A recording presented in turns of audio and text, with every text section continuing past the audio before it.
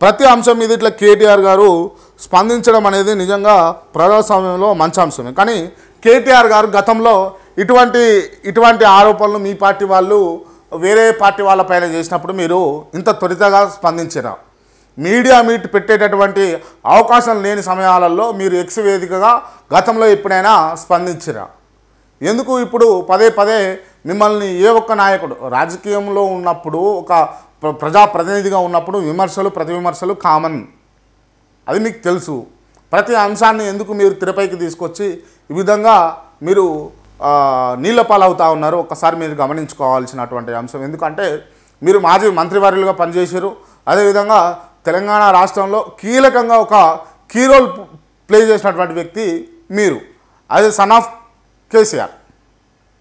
కేసీఆర్ గారు కొడుగ్గా మీరు రాష్ట్రంలో కీరోలు ప్లే చేశారు. ఇప్పుడు అధికారం కోల్పోయిన తర్వాత మీరు ప్రతి అంశం మీద స్పందించడం వల్ల అంటే గతంలో ఎప్పుడూ స్పందించని కేటీ రామారావు గారు ఇప్పుడు ప్రతి అంశం మీద స్పందించడం వల్ల ఏమనిపిస్తూ ఉంటుంది? ప్రజలకు ఆ వ్యత్యాసం కనిపిస్తూ ఉన్నది. అంటే అధికారం ఉన్నప్పుడు కేటీఆర్ ఎక్కడ పెద్దగా స్పందించలేదు. ఇప్పుడు అధికారం కోల్పోయిన తర్వాత ప్రతి అంశం మీద తన తనపైన వచ్చేటటువంటి విమర్శలపైన కావచ్చు లేకపోతే ప్రజలకు జరుగుతున్నటువంటి అన్యాయం పట్ల కూడా ప్రతి అంశంలో స్పందిస్తున్నాడు అన్నది తెలంగాణ ప్రజలకు తేడా తెల్లమయ్యే అవకాశాలు ఉంటాయి. దయచేసి మీరు అప్పుడైతే ఏ యాటిట్యూడ్ మెయింటైన్ చేశారో ఇప్పుడు కూడా అదే యాటిట్యూడ్ మెయింటైన్ చేయండి. లేదు ఇదే ఒరిజినలా ఇదే కంటిన్యూ చేయండి. లేదు అదే ఒరిజినలా అది కంటిన్యూ చేయండి. బట్ అవసర రీత్యా మీరు బిహేవ్ చేయడం వల్ల మీరు అవసరానికి బిహేవ్ చేస్తున్నారా అవసరం లేకుండా బిహేవ్ చేస్తున్నారా అన్నది తెలంగాణ ప్రజలు గమనించే అవకాశం అయితే ఉంటుంది. దయచేసి మీరు ఈ నోటీసులో పెట్టుకోవాల్సినటువంటి అంశం. ముడుపుల డబ్బులు ఏవి? ముడుపుల డబ్బులు ఏవి? ఇంతవరకు ఏమీ పట్టుకోలేదు కదా. కనీసం కనీసం ఆనవాళ్ళు లభించలేదు. మద్యం పాలసీ కేసుపై సుప్రీంకోర్టు ఇంకా కస్టడీ పొడిగించాలా అని చెప్పేసి ప్రశ్న. అవసరం లేదని కోర్టుకు తెలిపినటువంటి ఈడీ ఆప్ నేత సంజయ్ సింగ్కు బెయిల్ అయితే ఇచ్చారు. ఆప్ నేత ఆ- ఆప్ ఎంపీ సంజయ్ సింగ్ ఆయనకు బెయిల్ ఇచ్చారు. ఆయన ప్రచారం చేసుకోవచ్చునట. మొత్తానికి బెయిల్ అయితే వచ్చింది ఆయనకు. పాలసీ కేసులో మనీ లాండరింగ్ ఆరోపణలు చేస్తున్నటువంటి ఎన్ఫోర్స్మెంట్ డైరెక్టరేట్ ఈడీని ఉద్దేశించి సుప్రీంకోర్టు కీలక వ్యాఖ్యలు చేసింది. రెండు కోట్ల ముడుపులు తీసుకున్నారని ఆమ్ ఆద్మీ పార్టీ నేత రాజ్యసభ సభ్యుడు సంజయ్ సింగ్పై అభియోగాలు మోపినటువంటి ఈడీ అతడి వద్ద డబ్బు ఏమీ స్వాధీనం చేసుకోలేదని డబ్బు జాడ లేదని కోర్టు పేర్కొన్నది. ఈ కేసులో అరెస్ట్ అయిన సంజయ్ సింగ్కు సుప్రీంకోర్టు మంగళవారం బెయిల్ మంజూరు చేసింది. అంటే ఇప్పుడు కవిత దగ్గర కూడా మరి డబ్బు దొరకలేదు. కవితకు రేపు మాపు మరి బెయిల్ ఇచ్చే అవకాశాలు ఉంటాయా అన్నది ఇటువంటి ఉదాహరణ కేసులే దాన్ని బేస్ చేసుకొని చేస్తూ ఉంటారు. సో ఒక్కసారి గమనించాల్సినటువంటి అంశం.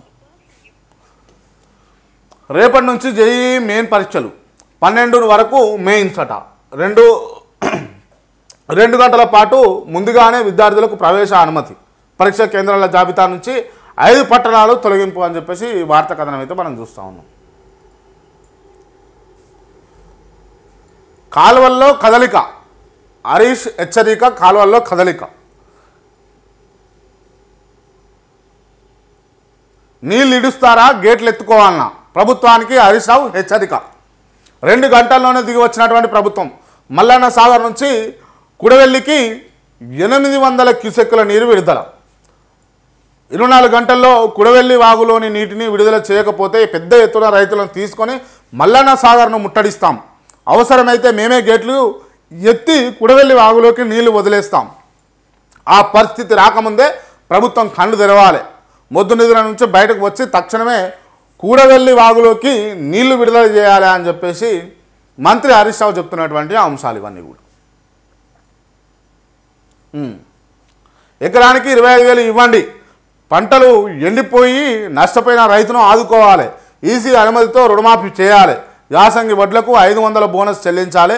రైతు సమస్యలపై సిఎస్కు బీఆర్ఎస్ వినతి.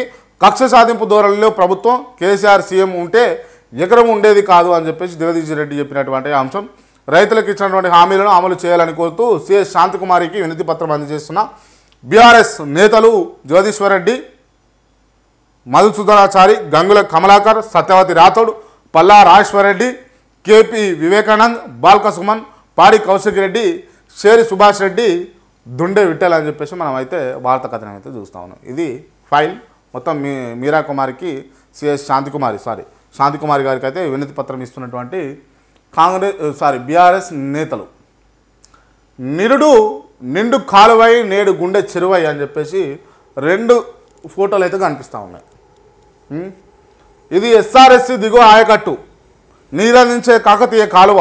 బీఆర్ఎస్ పదేళ్ళ పాలనలో ఇటు ఎస్ఆర్ఎస్పి అటు కాళేశ్వరం నీళ్ళతో నిత్యం కలకలలాడినాయి కాలంతో సంబంధం లేకుండా మండు టెండల్లోనూ కూడా కాలువల్లో నీళ్ళు నిండుగా ప్రవహించాయి. నిరుడు ఏప్రిల్ నెల లోయర్ మానేరు డ్యామ్ నుంచి విడుదలైనటువంటి నీటితో కాకతీయ కాలువ ఇలా కలకలలాడుతూ చివరికి ఆయకట్టు నీరందించింది. ప్రస్తుతం కాకతీయ కాలువ కలతప్పింది. కాంగ్రెస్ సర్కారు నిన్నటి దాకా నీళ్ళు వదలకపోవడంతో కాలువలో నీటి జాడ కరువైంది. నీళ్ళు లేని కాకతీయ కాలువను చూసి రైతుల గుండె చెరువైంది. స్టాప్ ఫోటోగ్రాఫర్ కరీంనగర్ అట. ఆయన తీసినటువంటి ఫోటో ఇది ఇగో. ఇది కరువుకు నిదర్శనం అని చెప్పేసి మనం చెప్పుకోవచ్చు. ఎవరు అవునన్నా కాదన్నా కూడా.